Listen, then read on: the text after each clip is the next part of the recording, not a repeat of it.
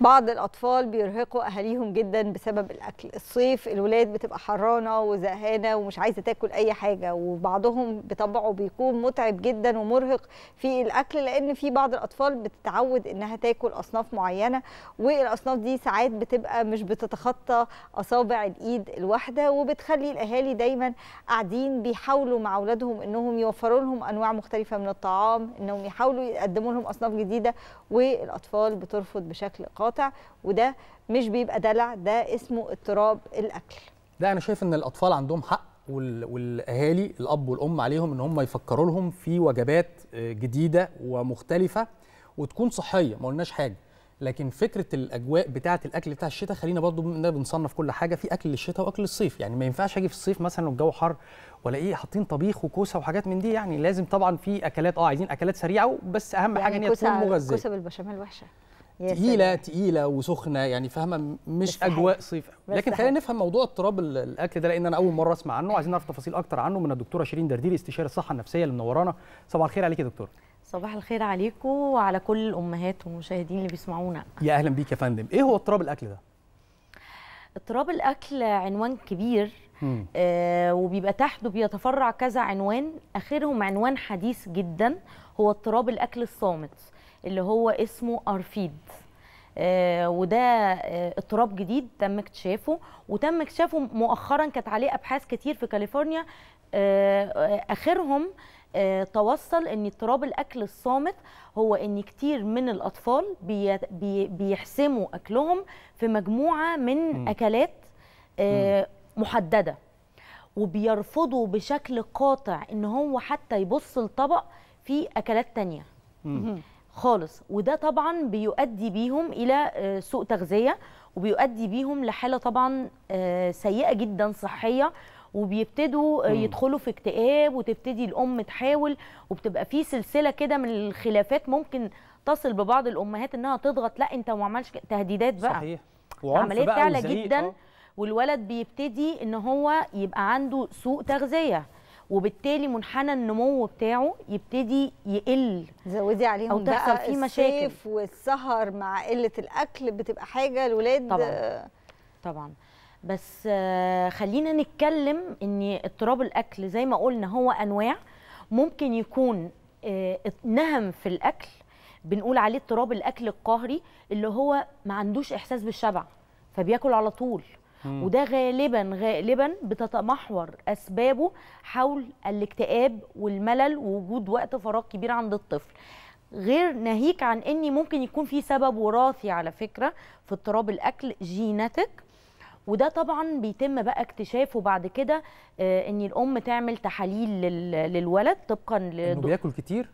عشان أي- بياكل كتير عشان بياكل كتير أيوه ممكن يبقى جيناتك يعني مم. في حاجات في ال- في الجينات عنده وراثية بتخلي الطفل عنده نهم في الأكل مم. وعدم بيشبعش. إحساس مش-. بيشبع خالص على عكس اضطراب الأكل الصامت اللي لسه قايل عليه الاضطراب الحديث ده بقى مش عنده نهم في الأكل ده ما بياكلش غير صنفين ثلاثة يعني تجيلي الأم وأنا فعلا تعرضت لحالات من دي وهو منظمة الصحة النفسية سمته أرفيد الاضطراب ده واضطراب حديث جدا لسه ظاهرة فيه الأبحاث مؤخرا.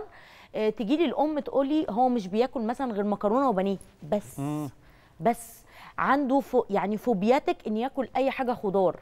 مش ممكن تكون السبب في الموضوع ده الأم؟ نفس- هي اللي استسهلت في بتكلم بجد والله. هي اللي است... أنا والله ده أنا- سؤال بريء. لا لا ده سؤال ما فيهوش لا ده ما فيهوش ده تحيز؟ من أنواع البراءه ده سؤال حقيقي وسؤال آه، هجومي على الأمهات اللي ربنا طيب. أنا بستفسر فقط. وغير موضوع يعني في تحيز. كده أيوه شو بقى؟ خالص والله. بعض الأمهات فعلا بيستسهلوا الموضوع ده فعودوا أولادهم من هم صغيرين من سن سنتين. انه على طول كل يوم خارجة من التمرين هو ده المكرونة والبانيه مش عارف إيه راجعة من المدرسة حاجة سريعة وسهلة خصوصا بالنسبة لل- للأمهات اللي بتشتغل فممكن يكون هم اللي عودوهم على كده أنا مش عارفة أنت جبت منين. فكرة إن البانيه هي دي حاجة الأمهات. على فكرة عايزة أقول لك حاجة ده ممكن آه يظهر لل للرجل لأنه ما بيشوفش التفاصيل اللي الأم يعني مش بيشوف التفاصيل اللي الأم بتعملها خلال يومها وطريقة تفكيرها. ممكن يكون ده اللي ظاهر للرجل إنما الأم في البيت بتأكل ولادها خضار وكل حاجة مم. لكن هم الولاد طبيعتهم أغلبهم آه، يعني في حاجة كده عموما في الكالتشر المصرية كل الأطفال تلاقيهم بيحبوا الرز مثلا والملوخية. هنتهم الأم بقى في كده؟ رز لا. وملوخيه وكوكو. صح بالظبط. أهو أنت قلت. مش الأطفال بس على يعني. فكرة والله.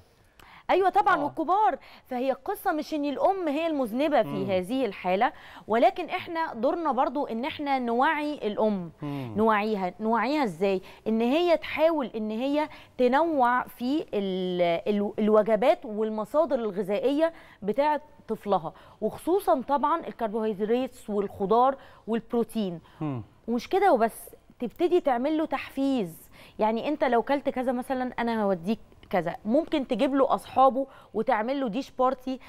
بص دي طرق غير مباشرة اهي. بقولها للأمهات.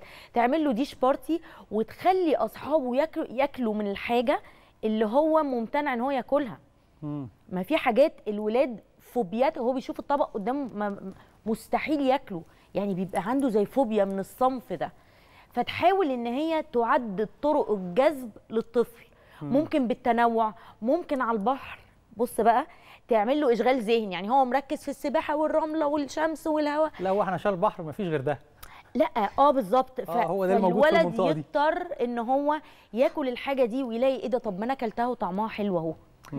فاهم؟ دي بنقول عليها طرق غير مباشرة عشان أبتدي أكسر فكرة إن الأكل ده مرفوض عند الطفل. لأن غالبا غالبا لما الطفل بيرفض أكل معين يا إما هو تعرض لصدمة من هذا الأكل زرع الفكرة في عقله الباطن إن الأكل ده بيعمل له بين معين أو بيعمل له إحساس مش حلو أوكي؟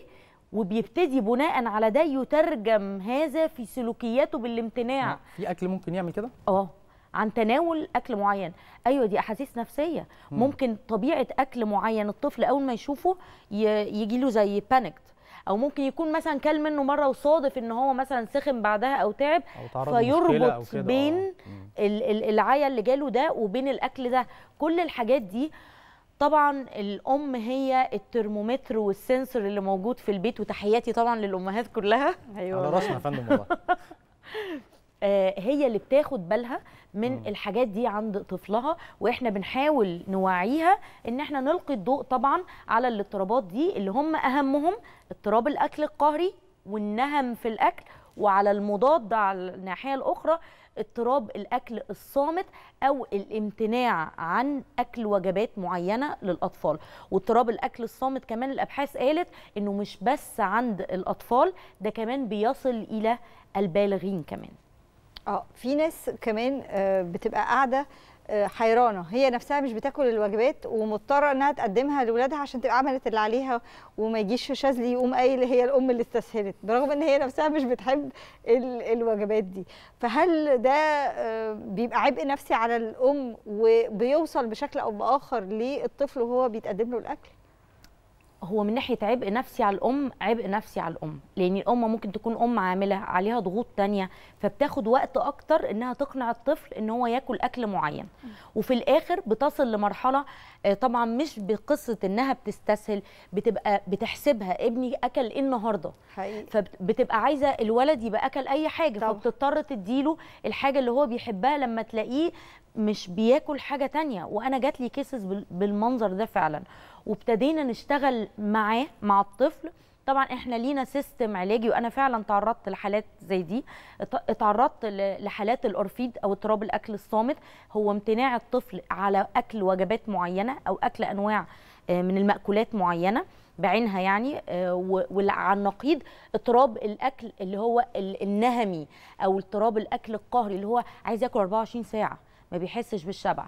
وفي الحالة دي بنشتغل مع الطفل إحنا كمعالجين نفسيين بنشتغل معاه ب system العلاج المعرفي السلوكي. وبعمل له art therapy وده اللي بدخل مع يعني أنا ب- بشتغل بطرق ملتوية طبعا مع الطفل عشان أوصل لدماغه. وإيه اللي مسبب المشكلة؟ لدرجة إني ساعات في أم يعني في أمهات بيحطوا الأكل في ال lunch box مثلا بتاع المدرسة ويعزم أصحابه عليه بحيث يلاقي كل أصحابه بياكلوا من الأكل اللي هو رافضه. فيبتدي يتشجع صح إن هو الاولاد بيشجعوا بعضهم ياكلوا. فعلا.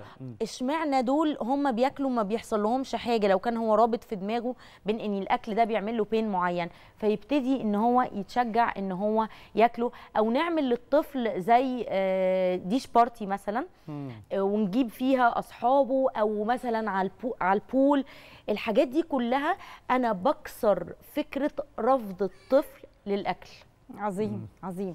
فكرة ال- الأطفال بت بت ممكن تعمل حاجة علشان التقليد. دي حاجة إحنا معانا ولا مم. علينا؟ يعني دي حاجة معانا- ممكن معانا. تبقى معانا مقبوله إن شاء الله. إن إحنا ن- ننمي الشعور ده عند الأطفال ولا لأ إحنا خايفين إنهم يقلدوا برضو فيقلدوا في حاجات تانية.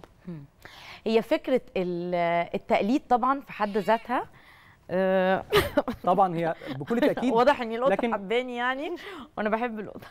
طبعا هي حاجة تشجع الأطفال ما فيش شك يا دكتورة طبعا مسألة التقليد دي ودي حاجة مهمة جدا لكن بعض ال- الأطفال بيرفض مثلا وليكن مم. اللبن. مم. البيض. مم. نفس الفكرة اللي كنت بتكلم فيها في البداية إزاي نغير شكل الحاجة. يعني أنا كده كده لازم أديله لبن ولازم أديله بيض لأن طبعا مغذي اعمل جدا. كريم طبعا. كراميل. آه. آه آه وليكن. آه. فعشان كده أنا أنا بس جانب المسؤولية اللي بقول لحضرتك عليه بالنسبة للأم إن هي تغير شكل الحاجة تقدم الحاجة في شكل مختلف. مم. صح كده؟ أيوه بالظبط آه نحدد بس للأمهات عشان الأمهات يبقوا فاهمين القصة دي مم. يعني ال ال لو هو بيحب مثلا الفلفل الرومي أنا ممكن أقطع له فلفل رومي على البيض فيبتدي يحبه okay يعني أدخله له بشكل تاني مختلف صحيح. ممكن أعمل له smile face. آه بشكل عيون البيض وكده فيحب الفكرة صح. فيبتدي الولد ينجذب وأعمل له يعني ده بنقول عليه art therapy وطبعا أنا بوجه الأم لده وبتجيب نتائج كويسة جدا جدا جدا مع الأطفال. كل الشكر لحضرتك دكتورة شيرين درديري استشاري الصحة النفسية. شرفتينا ونورتينا يا فندم. ميرسي ليكم.